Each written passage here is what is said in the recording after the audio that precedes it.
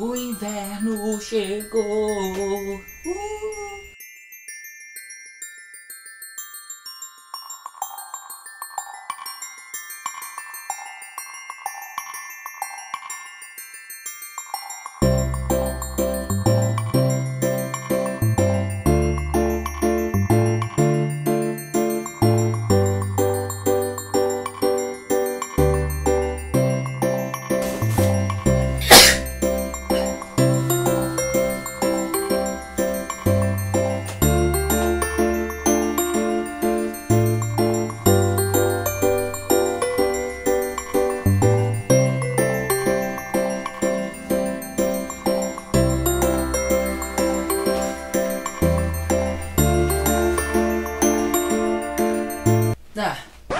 Aí, né, gente?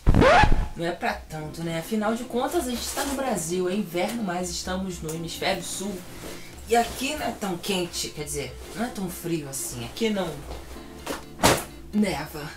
Não sei se você sabe, mas aqui, hoje, estou gravando hoje, dia 21, na madrugada de hoje, começou o solstício de inverno. O que significa isso? Significa que o inverno astral começou. Estamos oficialmente na estação inverno. Para entendermos isso melhor, precisamos olhar o planeta Terra. Hoje vamos falar de geografia. Planeta Terra, rotação, translação, o Sol, a luz do Sol na Terra. Então fica ligado aí, porque vai ser muito maneiro.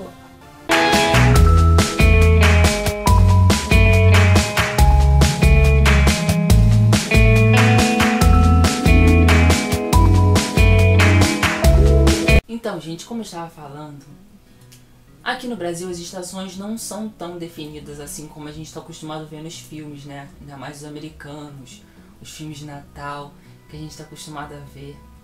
Dezembro, o quê? Neve. Mas aqui no Brasil é totalmente ao contrário. Por que será?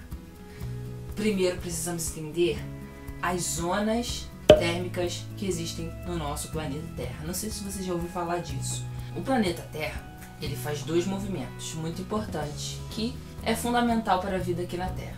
O primeiro deles é o movimento de translação.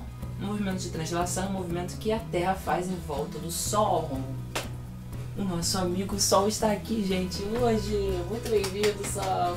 Aqui. Ai, que me Então, movimento de translação, movimento que a Terra faz em volta do Sol. Só que a Terra não só faz isso bonitinha, ela gira em torno do Sol e gira em torno dela mesma ao mesmo tempo.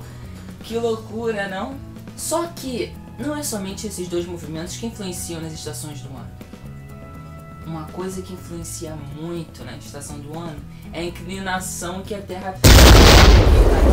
Planeta Terra, gente! Não acredito, muita honra. Então, esse aqui tá quebrado. Mas a posição da Terra no sistema solar não é assim retinha. Não é. O certo é aqui, onde está quebrado, tá vendo? Deixa eu tirar. O certo, a Terra tem uma inclinação de 23 graus e alguns um negocinho lá que eu não sei, minutos, sei lá, 23 minutos, sei.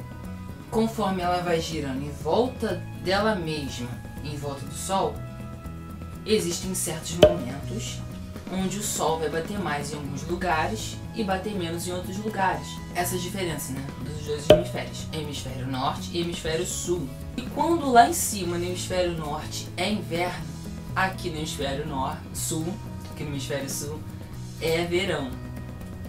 E vice-versa, quando aqui é inverno, lá é verão. Então hoje começou o inverno aqui no Brasil.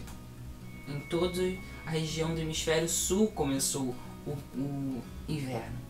E como eu falei, essa inclinação influencia muito, porque se nós repararmos aqui, fingimos que tem um sol imaginário aqui, quanto mais retinho a luz do sol entrar na Terra, mais calor ela vai produzir, porque ela não vai sofrer nenhuma, digamos assim, nenhuma inclinação, né? Ela não vai perder calor. Só que quando ela chega nessas áreas aqui, tá vendo? Que tem uma Aqui tá retinho, mas quando ela chega aqui, ela, a velocidade, tem, a distância é maior. Tá vendo? A distância é maior dos hemisférios, da linha do Equador.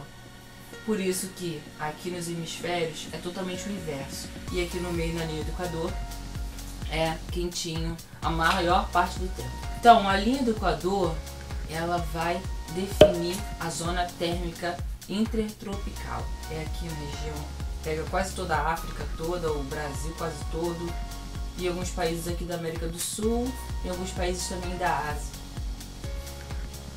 e da Oceania também. Essas regiões aqui, elas, elas recebem muito sol durante o ano inteiro. Claro que sofre um pouco de alteração, mas nada que se compare ao hemisfério, o extremo do hemisfério sul, lá na Europa, lá nos Estados Unidos, porque eles estão em outra zona térmica. Nós estamos na zona térmica intertropical, onde o sol bate mais forte quase que o ano inteiro, independente das estações do ano.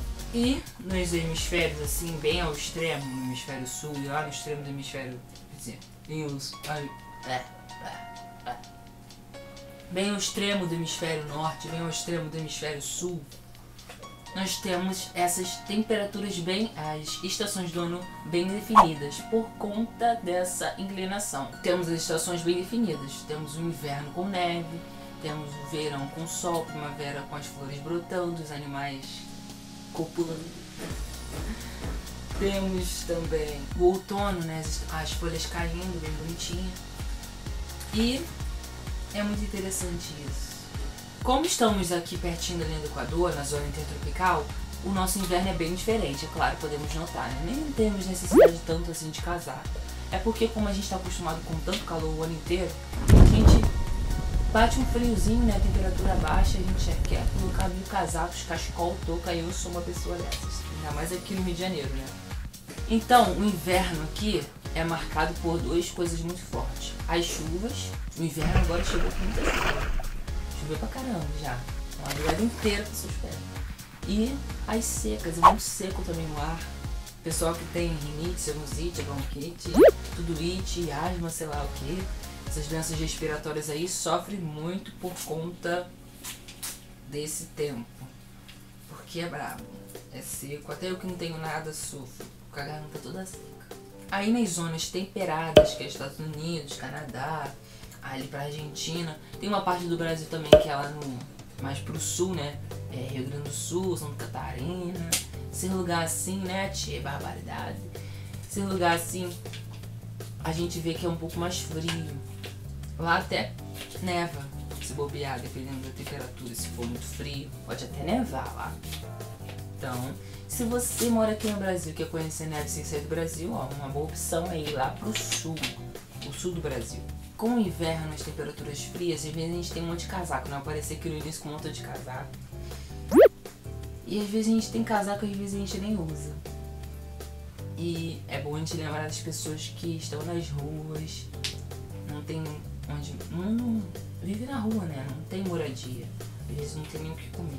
Então, se você tem casacos aí que estão parados, dando traça, traça comendo, destruindo tudo, que você possa ser solidário nessa estação do ano, que nós possamos parar e pensar um pouco nessas pessoas que vivem nas ruas, que não têm casa, que estão no frio e que precisam de agasalhos. Aquilo que às vezes a gente acha que não tem valor nenhum, para muitos tem muito valor.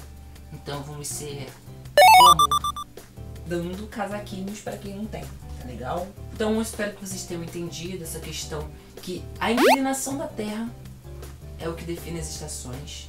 Então ontem começou o solstício que marca o início do inverno.